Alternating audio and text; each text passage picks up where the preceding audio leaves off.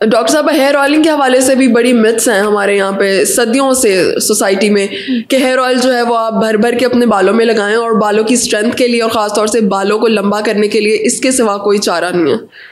बिल्कुल ऐसा ही है हमारी दादियाँ और नानियाँ हमें बड़ा हम्म। कहा करती थी कि ऑयल तेल लगाया करो और कुछ करो ना करो तेल की मालिश भी बहुत हुआ करती एग्जैक्टली exactly. अच्छा तेल लगाने से आपके बालों की हेल्थ अच्छी हो सकती है हम्म। क्योंकि जब आप तेल लगाते हैं और आप उसको मसाज करते हैं बेसिकली जो रोल होता है वो हेड मसाज का होता है जब आप मसाज करते हैं ना तो ब्लड सर्कुलेशन बेहतर होती है न्यूट्रिएंट्स मिलते हैं आपके बालों को और आपके बालों की हेल्थ जनरली अच्छी हो जाती है टू सम एक्सटेंट बालों की ग्रोथ भी बेहतर हो सकती है क्योंकि न्यूट्रिएंट्स मिलना शुरू हो जाते हैं okay. लेकिन ऑयल जो है ना जो ऑयल का लगाना सिर्फ़ जो हम्म। जैसे लगा के आपने बस छोड़ दिया उसका कोई रोल नहीं होगा अच्छा। आ, कुछ ऑयल्स ऐसे होते हैं जिनमें ऐसी चीज़ें होती हैं जैसे कोकोनट ऑयल हम अक्सर डर्मटोलॉजिस्ट प्रिस्क्राइब करे होते हैं अपने उसमें भी प्रिस्क्रिप्शन में भी जो हेयर कंडीशन के लिए होते हैं उसमें कुछ चीज़ें ऐसी होती हैं ऑलिव ऑयल में होती हैं जो हम कहते हैं कि आप लगाएँ तो बेहतर हो जाएँगे लेकिन सिर्फ़ ऑयल लगाने से आपके बाल लंबे बिल्कुल नहीं होंगे या कोई अगर आपका हेयर हेयर फॉल हो रहा है तो वो ट्रीटमेंट नहीं है हेयर फॉल को रोकने के लिए। ओके okay, मतलब सब बीमारियों की दवा ऑयल नहीं है। सब बीमारियों की दवा ऑयल नहीं है और कुछ बीमारियों के लिए तो ख़तरनाक भी है।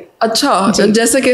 जैसे कि अक्सर लोगों को जो डेंड्रफ की शिकायत हो रही होती है हम्म। उसमें हम मेडिकल टर्म में उसको कंडीशन को कहते हैं सेबोरिक टर्मटाइटिस वो होता ये है कि आपकी स्किन में ऑयल प्रोडक्शन सीबम प्रोडक्शन जब ज़्यादा होती है तो आपका अपना जो माइक्रोफ्लोरा होता है वो उसके अंदर ग्रो करता है और उससे उसकी वजह से आपके स्किन के ऊपर से छिलके उतरना शुरू हो जाते हैं और रंग के। हम्म, और, और लोग उसको खुश्की समझ रहे होते हैं। तो वो खुश्की को ट्रीट करने के लिए फिर उस पर और तेल डालते हैं हम्म। और वो और तेल जो है वो उसको फेवरेबल इन्वायरमेंट देता है और वो छिलके और बनना शुरू हो जाते हैं। हम्म। तो उस कंडीशन में तो आपने स्पेसिफिकली ऑयलिंग को अवॉइड करना है। मैं अपने पेशेंट्स को बताती हूँ जिनको सेबोरिक डर्माटाइटिस होता है अक्सर वो सिर्फ़ बालों में नहीं होता वो आपके चेहरे पे भी आ सकता है वो आपके चेस्ट के ऊपर भी आ सकता है। okay. कुछ ऐसी जगह होती हैं जहाँ पे पसीने की और ऑयल प्रोडक्शन सीबम प्रोडक्शन ज़्यादा होती है। वो वहाँ पर आ सकता है और उसके ऊपर जब आप ऑयल लगाएँगे खुश्की समझ कर hmm. तो वो और ज़्यादा बढ़ जाएगा क्योंकि ऑयल प्रोडक्शन सीबम प्रोडक्शन और ज़्यादा एग्जेजरेट हो जाएगी। आप उसे और ज़्यादा ऑयल प्रोवाइड कर रहे हैं कि वो उसमें बैक्टीरिया और वो जो फंगस है वो और ग्रो करे। ठीक है तो डॉक्टर साहब ऑयल की सिलेक्शन कितनी इंपॉर्टेंट है आपकी स्किन टाइप के लिहाज से? ऑयल uh, की सिलेक्शन इसलिए इंपॉर्टेंट है स्किन टाइप के लिहाज से तो इंपॉर्टेंट है ही। uh, अगर हम स्पेसिफिकली हेयर ऑयलिंग की बात करें फॉर हेयर ग्रोथ तो जो ऑयल जिस पे रिसर्च हुई है और जिसमें शो हुआ है कि वो हेयर ग्रोथ में हेल्प करता है वो रोज मेरी ऑयल है द ओनली ऑयल जिसकी वजह से आपकी हेयर ग्रोथ या आपका हेयर लॉस जो है वो ट्रीट हो सकता है।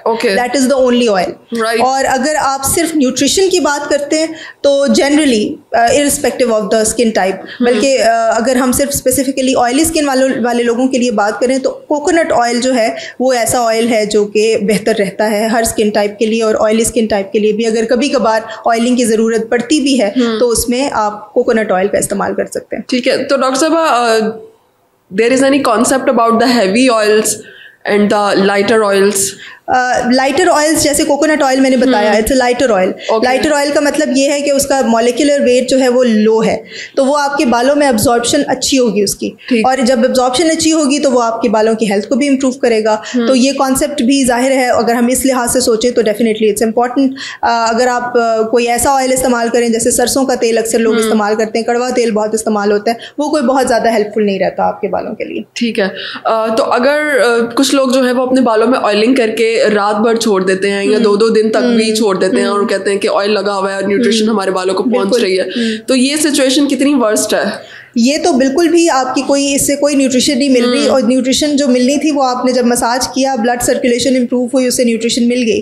अब हमेशा अगर आप सिर्फ़ कंडीशनिंग के लिए अपने बालों में ऑयल लगा रहे हैं ना तो नहाने से एक घंटा पहले दो घंटा पहले मैक्सिमम तीन घंटे पहले लगा लें और उसके बाद उसको वॉश कर लें। ओवरनाइट ऑयल लगाने का कोई फ़ायदा नहीं होता कोई न्यूट्रिशन नहीं मिलती बल्कि अगर उन केसेस में जिनको सेबोरिया है जिनको डैंड्रफ है उनकी कंडीशन और ज़्यादा ख़राब हो जाएगी। Right. अवल तो उनके लिए तेल लगाना बिल्कुल हम एडवाइज़ ही नहीं करते और ओवरनाइट लगाने से तो और ही सिचुएशन ख़राब हो जाएगी है ये स्कैल्प में कुछ पोर्स वगैरह को क्लॉक कर सकता है अगर आप इस डेफिनेटली डेफिनेटली ऑयली स्किन के लिए जैसे हम ऑयल बेस्ड सीरम्स या ऑयल बेस्ड क्रीम्स इसीलिए नहीं प्रिस्क्राइब करते क्योंकि वो आपके पोर्स को क्लॉक कर देता है। ठीक है। डॉक्टर साहब कुछ आजकल मार्केट में ऑयल फॉर्मुलेशंस भी अवेलेबल हैं कि इसमें दो दो तीन तीन ऑयल भी मिक्स किए हुए हैं और ये हर्ब भी है वो हर्ब भी है। हेल्पफुल है या ये भी स्कैम है बस? ये भी कुछ जैसे अब मैंने आपको बताया ना रोजमेरी ऑयल के साथ जो फॉर्मुलेशन अब आ रही है ना वो they are helpful hair loss के लिए। लेकिन जो बहुत ज़्यादा हर किस्म की फॉर्मुलेशन है वो ज़ाहिर है उसमें पता नहीं क्या क्या चीज़ें डली हुई होती हैं वी नेवर नो और उन लोगों के लिए जिनको किसी भी चीज़ से एलर्जी ट्रिगर हो सकती है उनके लिए तो बिल्कुल भी नहीं होना चाहिए। क्योंकि किसी भी हर्ब से किसी भी चीज़ से उनको एलर्जी हो सकती है किसी भी चीज़ से वो चीज़ ट्रिगर हो सकती है। Okay. तो बेहतर यही है कि आपको जब एक सिंपल आपके पास ऑप्शन मौजूद है किसी भी किस्म का ऑयल लगाने का तो आप वही लगाएँ। ठीक है मतलब हेयर ऑयलिंग में भी एहतियात की ज़रूरत है ये नहीं कि आप कुछ भी पकड़ के लगाएँ बहुत ज़्यादा एहतियात की ज़रूरत है। बहुत शुक्रिया।